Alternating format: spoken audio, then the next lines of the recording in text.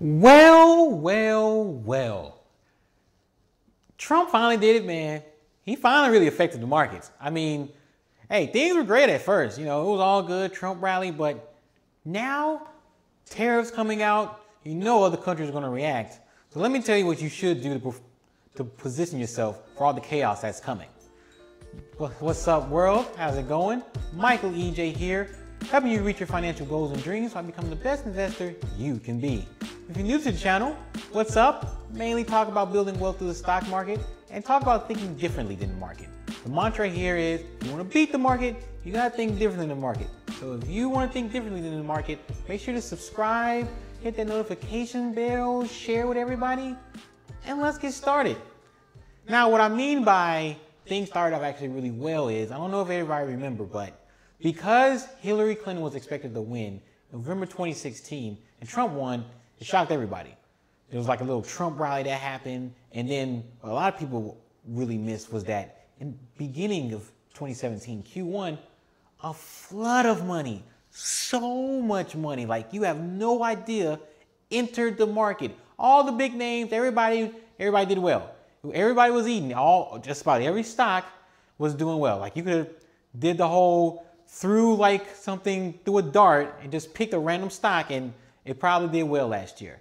And probably also led to the volatility. Because, I mean, I mean, a lot of people had confidence that Trump wasn't going to ruin the status quo. He's going to be more pro-business.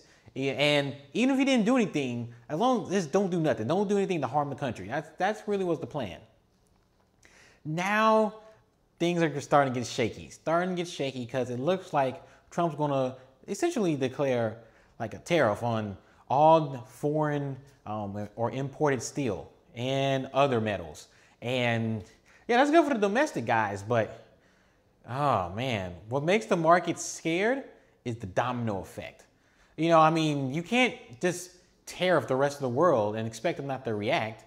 I mean, look at some of our biggest um, trading partners. We got China, uh, mainly China. I mean, and you got different places all across South America. I mean, this is kind of a big deal. Uh, you you can't be out here giving tariffs. it doesn't work. It's been shown through economic theory that it doesn't work. Doesn't do what you think it does, which is um, help boost the production and help boost the success of your domestic partners. Having that populist protectionist mentality just doesn't work, and it's it's finally coming to bear. I must admit, it took longer than I thought. I'm happy that it didn't happen earlier. You know, I'm happy Trump kind of just didn't really do anything. I mean, Korea was something, I know North Korea might have been something, but here's the thing. North Korea, they won't, they won't hurt us economically. We don't trade with them. They don't help us with anything. They're just two guys with, you know, overinflated egos, you know, talking through the media. Not a big deal. I mean, hey, hey, defense stocks benefited. You got Boeing in the sorts. I mean, how can Boeing nearly double in one year? Come on, that stock is really too big.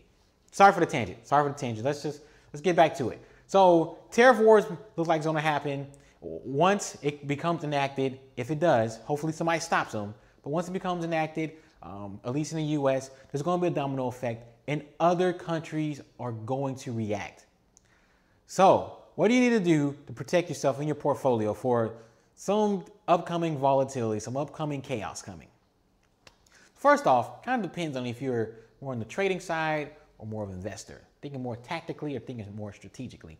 Tactically, for the traders, hey, this worked out. You know, you can trade those domestic names. You can trade around those metal stocks. You know, I mean, and, and one really good thing, I, I am a fan of sentiment trading. It is part of my swing investing type of thought process. It's the first part, the swing investment. You got the momentum slash high sentiment trading. So you find a stock that has a lot of sentiment with it. You usually look for the 52 week highs and start there. And then you also check Sell side, if they're giving a lot of buy recommendations, buy side, there's a lot of money flooding into it, especially lately. More likely that stock's going to go up in the, in the short term.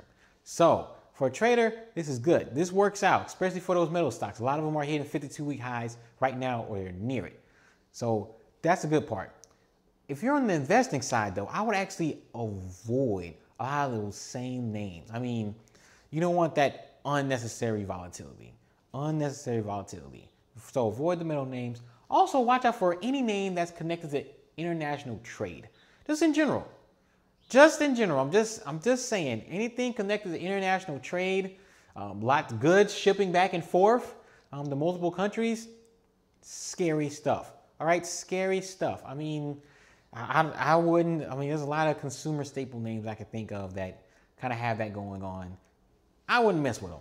Wouldn't mess with them at all. Maybe focus more on the domestic names or focus more on um, names that are international. Maybe have some international exposure, but more services related or, or technology.